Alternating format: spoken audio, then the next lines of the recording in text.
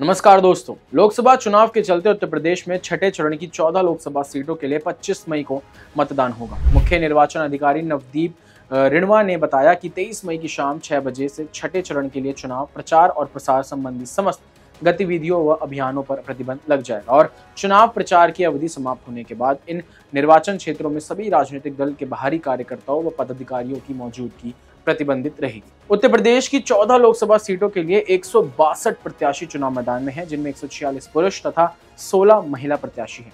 छठे चरण में सुल्तानपुर, प्रतापगढ़, फूलपुर, इलाहाबाद, अंबेडकर नगर, श्रावस्ती, डुमरियागंज, बस्ती, संत कबीर नगर, लालगंज, आजमगढ़, जौनपुर मछली शहर भदोही लोकसभा सीटें शामिल है। वहीं इन 14 लोकसभा सीटों में 12 सामान्य वर्ग की सीटें हैं, जबकि दो सीटें आरक्षित। इस सीट में कई दिग्गज चुनाव मैदान में हैं। इनमें आठ बार की सांसद मेनका गांधी, धर्मेंद्र यादव, दिनेश लाल यादव, निरहुआ, जगदम्बिका पाल और लालजी वर्मा जैसे नाम शामिल है। कुल एक सौ बासठ उम्मीदवार चुनाव मैदान में है और कई हॉट सीट पर कड़ी टक्कर देखने को मिल सकती है। आइए अब एक एक करके इन चौदह सीटों का समीकरण समझते हैं। सुल्तानपुर में लोकसभा सीट पर बीजेपी ने मौजूदा सांसद मेनका गांधी को टिकट दिया। मेनका गांधी यहाँ से आठ बार की सांसद रह चुकी हैं। और इस बार अगर वो चुनाव जीती है तो उनका नाम उन चंद सांसदों की लिस्ट में शामिल हो जाएगा, जो नौ बार सांसद का प्रतिनिधित्व कर चुके हैं। सपा से यहाँ राम भुआल निषाद और बसपा से उदराज वर्मा चुनाव मैदान में है। इस क्षेत्र में मेनका गांधी की समाज में हर तबके में पकड़ मानी जाती है। प्रतापगढ़ लोकसभा सीट कुंडा के विधायक राजो भैया के प्रभाव की सीट मानी जाती है। राजो भैया ने इस बार अपने समर्थकों से स्वतंत्र होकर वोट देने को कहा है, लेकिन सूत्रों के मुताबिक उनके समर्थक सपा के साथ हैं। हालाँकि प्रतापगढ़ की हमने रैली में भी उन्हें अखिलेश यादव के साथ देखा। बीजेपी ने सीट से मौजूदा सांसद संगम लाल गुप्ता को टिकट दिया, जबकि सपा की ओर से एसपी सिंह पटेल मैदान में ये भाजपा के लिए काफ़ी हॉट सीट मानी जाती है, लेकिन अनुप्रिया पटेल की बातों के बाद इस सीट पर राजो भैया ने बीजेपी के विरोध में प्रचार करना शुरू कर दिया है। हालाँकि वह इतना स्वतंत्र होकर नहीं बोल रहे हैं, पर उनके जो समर्थक है, वो जमकर प्रचार कर रहे हैं। फूलपुर लोकसभा सीट बीजेपी ने मौजूदा सांसद केसरी देवी पटेल का टिकट काटकर प्रवीण पटेल को उतारा है। प्रवीण पटेल फूलपुर विधानसभा से तीन बार विधायक रह चुके हैं। सपा की ओर से अमरनाथ मौर्य ने मौर्य से उनकी कड़ी टक्कर मिल रही है और बसपा से जगन्नाथ पाल को टिकट दिया गया है। इलाहाबाद लोकसभा सीट पर भी इस बार सपा बीजेपी के बीच दिलचस्प मुकाबला है। यहाँ से बीजेपी ने नीरज त्रिपाठी और बसपा ने उज्जवल रमन सिंह को टिकट दिया है। दोनों पारिवारिक विरासत के नाम पर जन समर्थन जुटाने की कोशिश में लगे हुए हैं। अंबेडकर नगर लोकसभा सीट पर बीजेपी ने बसपा छोड़कर आए रितेश पांडे को उम्मीदवार बनाया है। इंडिया गठबंधन की ओर से सपा के लालजी वर्मा उन्हें टक्कर दे रहे हैं। बसपा ने यहाँ मुस्लिम प्रत्याशी पर दाव लगाया। बसपा से मोहम्मद कलाम शाह को बदलकर कमर हयात को टिकट दिया गया है।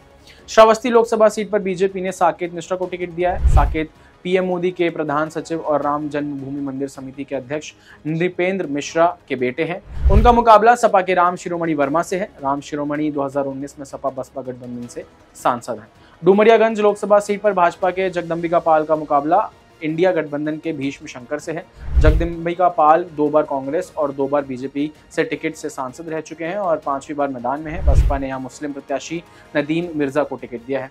बस्ती लोकसभा सीट की बात करें तो यहाँ पर इस सीट पर चौधरी वोटर्स, अच्छी खासी तादाद में है। सपा ने यहाँ से पूर्व मंत्री रामप्रसाद चौधरी को टिकट दिया है। बीजेपी ने दो बार सांसद रहे हरीश द्विवेदी और बसपा की ओर से लवकुश पटेल मैदान में संत कबीर नगर लोकसभा सीट पर बीजेपी और सपा के बीच सीधी टक्कर है। बीजेपी ने यहाँ मौजूदा सांसद प्रवीण निषाद को टिकट दिया है। प्रवीण निषाद कैबिनेट मंत्री संजय निषाद के बेटे हैं। उनका मुकाबला सपा के पप्पू निषाद से है। लालगंज लोकसभा सीट पर भी 2019 के विपक्ष पर कब्जा था। इस सीट पर मुकाबला त्रिकोणीय है। यहाँ बीजेपी ने नीलम सोनकर, सपा से दारोगा प्रसाद सरोज और बसपा से असिस्टेंट प्रोफेसर इंदू चौधरी मैदान में है। मछली शहर लोकसभा सीट से बीजेपी ने दो बार सांसद रह चुके बीपी सरोज और फिर तीन बार सांसद रहे तूफानी सरोज की बेटी प्रिया सरोज को उम्मीदवार बनाया है। बसपा की ओर से कृपा शंकर सरोज चुनाव में है। यहाँ सपा बीजेपी के बीच कड़ी टक्कर है। आजमगढ़ लोकसभा सीट पर 2019 में सपा अध्यक्ष अखिलेश यादव सांसद बने थे। बाद में उन्होंने इस्तीफा दे दिया था और उपचुनाव में यहाँ बीजेपी के टिकट टिकट पर भोजपुरी अभिनेता दिनेश लाल यादव, निरहुआ ने अखिलेश यादव के चचेरे भाई धर्मेंद्र यादव को हरा दिया। उपचुनाव में बसपा सपा की हार की सबसे बड़ी वजह बनी थी।